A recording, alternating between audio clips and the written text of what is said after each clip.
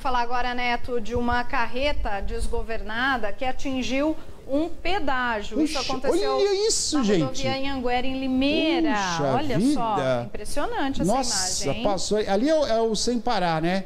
É, e a carreta acabou perdendo o controle, subiu sobre a mureta de concreto e só parou quando as rodas engancharam ali pelo jeito. A chuva, né, gente? E atingiu as algumas cabines ali também. Pegou a viu, cabine, pegou a cabine, foi de lado. ó. Foi ali na rodovia em Anguera, na cidade de Limeira, e de acordo com informações da Autoban, a pista não precisou ser interditada, somente ali o trecho da, Correto, da correto. rodovia Anguera.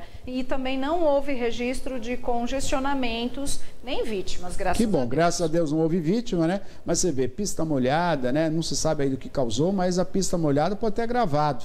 Agora o fato é o seguinte, a mureta de concreto acabou eh, segurando a carreta, a gente não sabe se ela estava cheia, né, ou vazia, mas é um acidente que poderia eh, ter um desfecho aí mais complicado. Graças a Deus a mureta de segurança está ali para isso, né? Acabou segurando aí o veículo, essa carreta de grande porte, quilômetro 152, se não me engano, em Anguera, na cidade de Limeira. As equipes foram acionadas, a carreta ela foi retira- retirada por equipamento pesado, né, guincho para a carreta, ela foi retirada, foi colocada ali no acostamento ao lado ali e foi liberada a pista, inclusive limpa pela equipe da, da, da Autoban, fizeram a limpeza e foi liberada aí já ao sem parar. Que medo, hein? Chuva, olha, Chuva estrada, cuidado, cuidado. O que eu pego de carro no meio do canteiro quando eu vou sábado de manhã, meu Deus do céu, que tá chovendo, ah, é fatal. Fatal chover, você vai encontrar carro no meio do canteiro.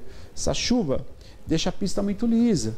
E aí os carros ficam tudo no canteiro, né? Naquela vala que tem. Graças a Deus esse canteiro, ele segura o carro. Quando o carro cai ali, ele para. Porque pode atravessar a pista, né? A mesma coisa acontece bastante na Bandeirantes, que é uma rodovia excelente. A melhor rodovia do Brasil é a Bandeirantes.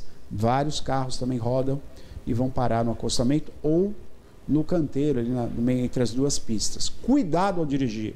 Devagar, com atenção, tira o pé, vai devagar, vai devagar.